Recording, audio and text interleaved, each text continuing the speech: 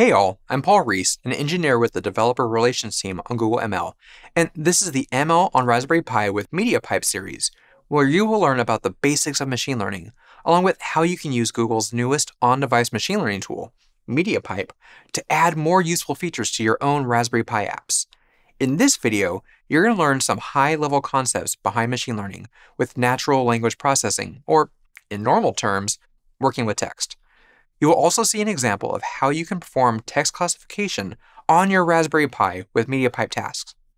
While the way machine learning can work with text is surprisingly nuanced, a simple version of what happens is that words and letters are represented by numbers through a process called tokenization. Then those tokens are processed to associate them with the likelihood of whatever is trying to be classified. This can be organizing documents based on their topic, classifying spam, determining if a movie review is positive or negative, or even laying the foundation for things like language detection and on device translation. Though the fact that this is an IoT device means that there's a lot of other things that all of you devs and makers out there can create to do way more interesting things.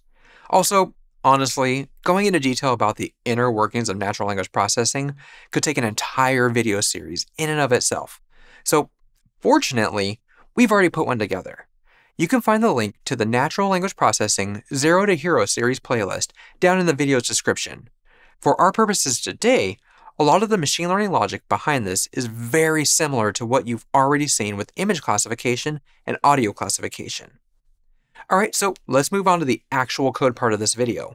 Text classification is definitely the easiest of the MediaPipe tools to use because it really just comes down to text in, result out.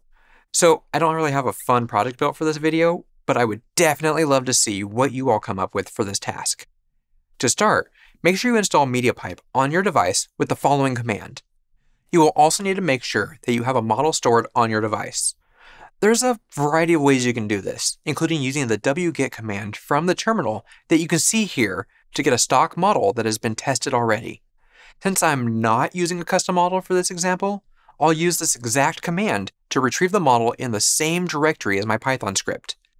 The model that I'm using in this instance is called BERT classifier, though specifically the mobile BERT model. This model is known for having a high level of accuracy for classification, and the one we linked to from the MediaPipe developer documentation was trained to classify sentences as either positive or negative. And similar to other videos, I'm going to focus on the important parts here to perform classification, but if you want to see an entire example project, you can find the GitHub link to our official text classification sample below. Now, let's get into a new Python file. You'll need to make sure you import this set of dependencies specifically for text classification with MediaPipe. After you have those, you can initialize your text classifier. Because this task is a lot more simple than the audio or visual task, I'm only going to set the model path here, and then create the classifier. But there are other options that are available to you including the maximum number of classification results that you might want back, which is useful if you're using a classification model that can output more than one label. A confidence score threshold that must be met before a result can be returned from the model, or category allow and deny list that restrict a classification to only being of a set type, or preventing a set type from being returned. This is useful for when you have a larger classification model and need to refine what the model does based on the given context at the time. Keep in mind that you can provide either category allow list or category deny list. Using both will cause an error. If you watched the other videos in this series, you might also recall that the other tasks have used a callback function because the inference happens asynchronously. This isn't the case with text classification because it happens so quickly. So you can just call classify to get your result object back in the same section of code. This result object for this is also pretty simple it will contain a list of possible categories from the model, as well as the confidence score in that category being correct for your input, like you can see here in this data structure example.